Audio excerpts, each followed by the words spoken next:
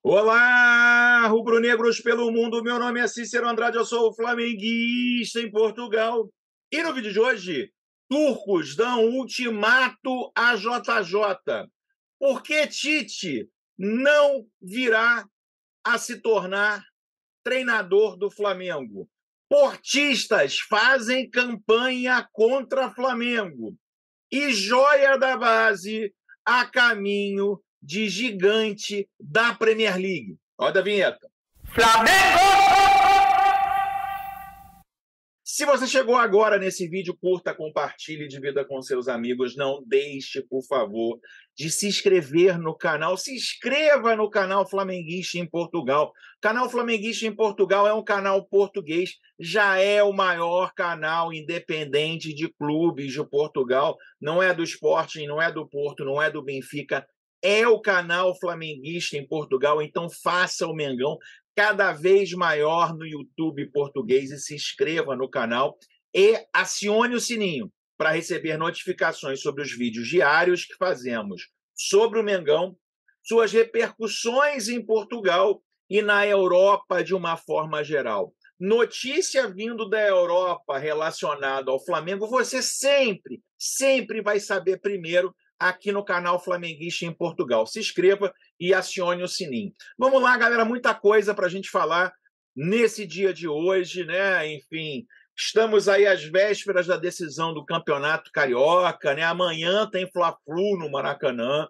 Flamengo pode perder até de 1 a 0 que se sagrará campeão carioca. Temos que fazer aí o nosso pensamento positivo para que o time atue é, de uma, de uma forma que consiga aí, quem sabe, um bom resultado contra o Fluminense. E finalmente, depois de jogar quatro taças no lixo, o Flamengo e a sua diretoria consigam aí é, um título para que a gente possa mudar a sorte desse ano de 2023. Mas isso, meus amigos, apesar da disputa dos estaduais, né? Existem as especulações do mercado da bola. É isso mesmo, meus amigos. E mais uma joia rubro-negra chama atenção de clubes da Premier League. Esse ano a gente já perdeu o João Gomes, né?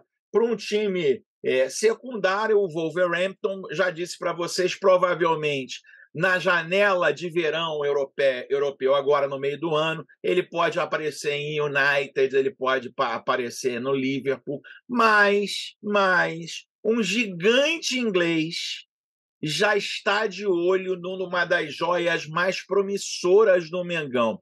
É isso mesmo, meus amigos. Matheus Gonçalves interessam, interessa ao Arsenal. Notícia vindo diretamente da Inglaterra, hein, meus amigos? Arsenal está considerando seriamente fazer uma oferta pelo atacante do Flamengo, Matheus Gonçalves. Os Gunners estão de olho no jovem de 17 anos que chegou ao time principal do Flamengo no final do ano passado. Gonçalves está, no entanto, atraindo interesse pelo menos de três outros clubes europeus, incluindo rivais da Premier League: Manchester City, Ajax e Benfica. Acredita-se que o Flamengo não tenha recebido uma oferta formal pelo jovem nessa fase, mas uma batalha pode acontecer pela contratação do jogador no verão. Gonçalves completa 18 anos em agosto, idade que se torna elegível à transferência para o exterior. Mas nada impede que o Arsenal feche um acordo com o Flamengo antes disso.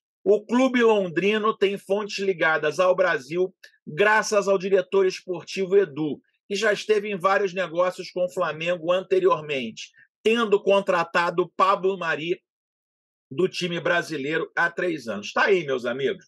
Né? É sério, eu acho, vou dar a minha opinião, botando o Matheus França, botando é, é, Renier, botando Lucas Paquetá, botando até Vinícius Júnior, Nenhum, nenhum jogador desses todos estreou tão jovem no Flamengo e com tanta personalidade, meus amigos. Acho que esse garoto é uma joia realmente, uma joia de primeira grandeza e, obviamente, né, o, o, os olheiros internacionais não são bobos e pode vir uma proposta tentadora aí para o Matheus Gonçalves. Queria saber de você, meu amigo. Você gostaria de ver né, é, o Matheus Gonçalves vestindo a camisa do virtual campeão inglês desse ano, escreva aqui nos comentários a sua participação, é muito importante. Eu diria a você, eu faria o que o Flamengo fez com o Matheus França, né? Eu não aceitaria qualquer proposta pelo jogador, eu faria jogo duro e tentaria ali fazer um preço realmente condizente com a importância que o Mateus Gonçalves poderia ser. Impedir de ir, meus amigos, impedir de ir, a gente tem que ser muito sincero, não dá para impedir. Tem que, ele vai ter que ir porque jogadores nessa idade são o grande interesse dos gigantes europeus, jogadores mais velhos, a gente sabe que em função até da formação dos jogadores no Brasil, que é uma formação segundo a visão europeia deficitária, né? Eu costumo dizer a vocês, né? O Brasil forma laterais direitos, zagueiros centrais, volantes, meias, centroavantes, pontas direitas. O futebol europeu forma jogadores, jogadores versáteis para jogar em todos os lados do campo, né? Então, isso teoricamente tem feito aí que os jogadores talentosos, mas com mais idade não sejam contratados e os mais jovens eles ficam de olho porque eles acreditam que consigam aí de alguma forma completar a formação, fazendo com que eles sejam úteis no futebol europeu. Então, por isso que eles vão em cima com tudo dessas joias da base, né? E o Matheus Gonçalves, não sei não, hein? Até pelo que ele já apresentou no time principal, acho, acho que o Flamengo terá uma grande oferta pela compra do jogador, talvez já nessa janela. Aliás, Matheus Franças e Matheus Gonçalves né? É bom a gente aproveitar bastante deles aqui, porque é possível que a gente não tenha mais eles. Né? Mas agora, vindo de Portugal, uma notícia interessante, hein, meus amigos? Portistas fazem campanha contra o Flamengo. É isso mesmo, meus amigos. Ontem, para quem não está ligado, o Futebol Clube do Porto conseguiu ganhar de 2 a 1 do Benfica, diminuiu a diferença entre os dois para sete pontos. Né? E Matheus Uribe foi um autor, o autor de um dos gols, meus amigos. Matheus Uribe, que ainda não renovou com o Futebol Clube do Porto, foi autor de um dos gols da vitória do Porto contra o Benfica no Estádio da, da Luz. E aí, o que, que aconteceu? Né? Ele fez uma postagem é, é, depois do jogo, né, ele fez um dos gols e fez uma postagem simples com a camisa do Porto, escrevendo ali, ó, é, que clássico feliz, que noite feliz, né, escrevendo sobre a participação dele e a vitória do Futebol Clube do Porto. E aí, meus amigos, vários companheiros de time do Otávio foram ali nos comentários e começaram a escrever fica craque, não vai embora, o seu lugar é no Futebol Clube do Porto. Por exemplo, o Médio Otávio escreveu ali, fica craque. Né? E aí, meus amigos, os torcedores do Porto, os jogadores do Porto, fazendo pressão ali no post do Uribe, pedindo para que ele não saia do Futebol Clube do Porto. Ou seja, um jogador esteve negociando com o Flamengo, aí eu já dizia desde o início para vocês aqui, eu acho muito difícil a saída do Uribe do Futebol Clube do Porto. Né? E aí ele teve a oportunidade, depois desse clássico, de receber todo o carinho da torcida portista. Né? Flamengo ainda tem chance? Acho, acho muitíssimo difícil, meus amigos. Mas escreva aqui nos comentários, eu gosto de saber a opinião de vocês. Você gostaria de ter Matheus Uribe como volante do Mengão? Escreva aqui nos comentários. Acho ele um jogadoraço, um jogadoraço. Acho que seria uma contratação sensacional para o Flamengo, mas o presidente Pinto da Costa, com certeza absoluta, não vai absolutamente deixar ele sair do time do Futebol Clube do Porto. Ele vai ficar. Então, acho que é mais uma contratação que foi alerradiada aí pela imprensa rubro-negra, que não vai acontecer. Eu disse isso para vocês desde lá do primeiro dia, meus amigos. Mas é, Flamengo também não é segredo para ninguém. O Flamengo, é, nos bastidores, já procura um novo treinador. Né? A gente sabe que a situação do Vitor Pereira, independente do resultado de amanhã, é uma situação que é, não se vê muito futuro, ele não deu certo no Flamengo. E ontem se falou com força né, nos bastidores rubro-negros que parte da diretoria gostaria de contar com Tite. É isso mesmo, pessoal. Tite é o treinador que parte da diretoria, parte dos conselheiros do Flamengo é, gostariam de ver vestindo o manto sagrado rubro-negro. Né? Então, poderia haver um interesse do Flamengo na contratação do Tite. Eu queria saber aqui também que você escrevesse aqui no vídeo agora. Você gostaria do Tite comandando o Flamengo? Escreva aí nos comentários, a sua participação é muito importante. Por que, que eu acho, aí já não é informação, por que, que eu acho que essa contratação não vai se concretizar, meus caros? Primeiro é o seguinte, né? O Tite já declarou abertamente que esse ano não gostaria de dirigir nenhum time no Brasil. E isso acabou é, se deixando mais claro ainda quando agora o Chelsea sem técnico, quando o Tite tomou uma atitude que não é tão comum, né? Ele enviou de maneira formal uma carta de intenção aos Blues londrinos, né? É, é, avançando ali demonstrando o seu interesse em dirigir o time inglês. O Tite quer, nesse momento da sua carreira, uma experiência internacional. Ele quer se juntar aos grandes, ele quer se juntar aos maiores, ele quer ir para um time da Premier League, da La Liga, ele quer estar tá comandando aí os, os quase duas Copas do Mundo, não, duas Copas do Mundo que ele tem no currículo. Ele acredita que ele se credenciou para estar tá dirigindo clubes fora do Brasil. Então, eu acho que, mesmo que haja um interesse do Flamengo, acho que o Tite não aceitará, porque ele vai esperar a janela do meio do ano, obviamente, ele vai esperar o fechamento da temporada para tentar se colocar em um clube da Premier League ou das grandes ligas mundiais. Então, o torcedor do Flamengo foram feitas pesquisas aí, quase 90, o índice de rejeição do Tite é monstruoso é monstruoso. Então, acho que mesmo que haja um contato, a ideia dele não é, é ficar no futebol brasileiro. Né? Ainda mais agora, né? É, antes da abertura da janela, né, do encerramento dos campeonatos europeus. A gente sabe as férias são em junho, né? Todos os campeonatos, é, os jogadores europeus têm férias em junho e os planejamentos começam em junho.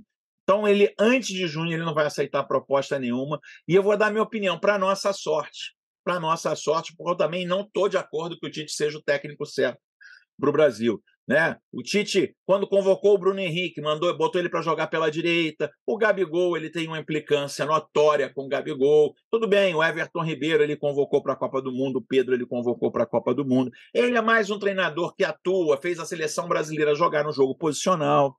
Né? Existe uma série de coisas, uma série de coisas que faz com que a gente ache que o Tite não é o nome ideal para o, a seleção mundial que é o Flamengo. Eu queria saber de você. Você gostaria do Tite vestindo o manto sagrado? Escreva aqui nos comentários a sua participação.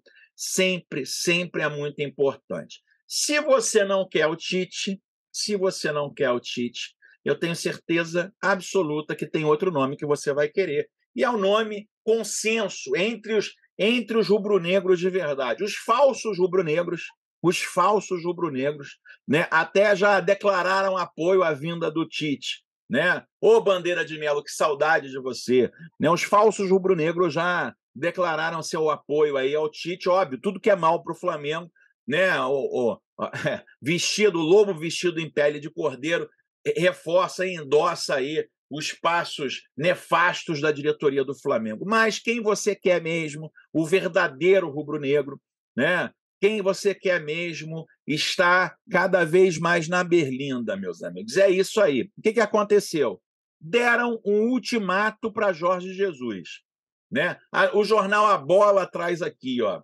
Jorge Jesus é convidado a renovar contrato com prazo para responder. O Alicoque não aguenta mais essa novela. O Alicoque, você que acompanha aqui ah, o meu canal, você sabe o Alicoque, presidente do Fenerbahçe. Jorge Jesus recebeu uma proposta do presidente do Fenerbahçe, Alicoque, no sentido de renovar o contrato por mais uma temporada. O atual expira em maio.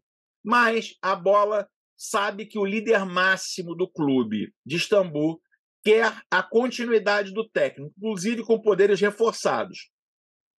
Mesmo que esse não vença qualquer competição na época. Está a nove pontos do líder Galatasaray, com um jogo a menos e com presença nas meias finais, nas semifinais, da Taça da Turquia. Jorge Jesus terá que dar uma resposta até o final do mês, é o mês de abril. Ou seja, o Alicoque diz o seguinte: Jesus, olha só, vamos parar com isso. Terminando no final de abril, eu tenho que saber quem será o próximo técnico. Então, assim, ele tem agora, nós estamos aqui no dia próximos ao dia 10, nós temos, ele tem aí 20 dias para dizer se vai ficar ou não. Se ele não, se ele não disser nada, o Alicoque já vai atrás de outro treinador. Esse cenário transparece que vive normalmente uma atmosfera de paz no Fenerbah. O naufrágio frente ao rival Besiktas 2 a 4 para a última jornada da Liga domingo passado causou um momento de tensão entre Jorge Jesus e Alicoque nos balneários no final do jogo. Balneários em português de Portugal é nos vestiários. Houve depois uma reunião entre os dois que durou três horas em que situação ficou classificada para o presidente mais tarde dar o apoio ao staff técnico e aos jogadores no treino da terça-feira. Isso tudo aqui, você que me acompanha, tudo que estou narrando aqui do Jornal A Bola, você que acompanha o canal Flamenguista em Portugal, você ficou sabendo praticamente on time aqui. O tudo aconteceu, você está resumindo o que aconteceu na última semana. Isso é importante a sua inscrição e o acionamento do sininho. A vitória sobre o Kaiser Sport por 4 a 1 anteontem, que garantiu lugar nas meias finais da taça. O, o, o Sivaspor é o próximo adversário com o segundo jogo a ser em Istambul. Reforçou a união entre o treinador e adeptos que sempre acarinharam ao longo da temporada. Sempre acarinharam ao longo da temporada aí, Jornal A Bola. Aí, né, aí já tá dando uma, uma patriotada aí, né? Não é verdade, ele sai, ele foi vaiado, ele tem sido questionado pela torcida, tanto no estádio quanto nas redes sociais. Então, meus amigos, a situação do Jorge Jesus é essa, né? É, o que, que acontece? Presidente quer mantê-lo de qualquer maneira. É, a revelia de muitos conselheiros, a revelia da própria torcida, a revelia da própria imprensa turca, ele quer manter. Porém, né, ele falou: olha, Jesus, ou você me diz até o final de abril, ou a minha proposta não vai estar mais na mesa. Ou você acerta comigo até o final de abril, porque eu tenho que ver o futuro, a próxima temporada do Fenerbahçe. E aí, meus amigos, Jorge Jesus fica livre no mercado. Né? Eu queria saber de você, meu amigo. Você que está aí. Você gostaria de ver o Mister vestindo de novo o manto sagrado rubro-negro? Escreva aqui nos comentários a sua participação. É muito, mas é muito importante aqui. Eu, vocês já sabem a minha opinião, né? Eu sou viúva de Jorge Jesus mesmo. Acho que seria o nome ideal, né? Ah, só vai para frente com Jorge Jesus? Não. Eu acho que é, existem outros treinadores que talvez sejam menos capacitados, mas ao mesmo tempo menos orgulhosos, que saibam de certa forma pegar um modelo de jogo conveniente aí, ou que aproveite o máximo das características dos jogadores do Flamengo e que consigam sucesso, como por exemplo foi o Dorival ano passado. Não tenho dúvida, né, que é, poderá fazer sucesso também. Mas o Jorge Jesus, todo mundo sabe que seria o técnico ideal para o Flamengo. E eu trago aqui diariamente notícias para vocês de tudo que está acontecendo na Turquia, para que você saiba aqui em primeira mão. Aliás, para você continuar tendo acesso a esse material praticamente exclusivo aqui todos os dias, para você que sonha em ver o Jorge Jesus voltando e os melhores dias no time do Flamengo, se inscreva no canal né? O botãozinho vermelho aqui transforma ele em branco, se inscreva, acione o sininho para que você receba notificações sobre os nossos vídeos aqui, para que você esteja sempre muito bem informado. Vejo você no próximo vídeo. Aquele abraço. Tchau, tchau.